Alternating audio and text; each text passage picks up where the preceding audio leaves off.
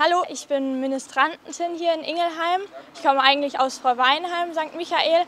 Jetzt stehe ich hier der, an der Kirche in Oberingelheim, St. Michael. Ähm, genau, ich bin seit sieben Jahren Messdienerin. Bin damals ähm, nach der Kommunion gleich da reingerutscht, weil ich einfach mit meinen Freundinnen das gemacht habe und mir hat es gleich Spaß gemacht, weil wir einfach eine coole Truppe waren und zusammen viel Spaß hatten und auch jetzt noch viel Spaß haben. Es kommen immer mehr dazu. Es gehen natürlich auch welche nach der Zeit.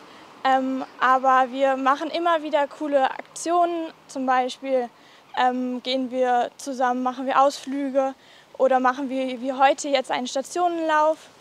Ähm, ich werde dann irgendwann jetzt auch bald Gruppenleiterin. Das heißt, ich, bin, ich führe die Ministranten so mit anderen zusammen an, überlege mir neue coole Aktionen die wir dann gemeinsam machen.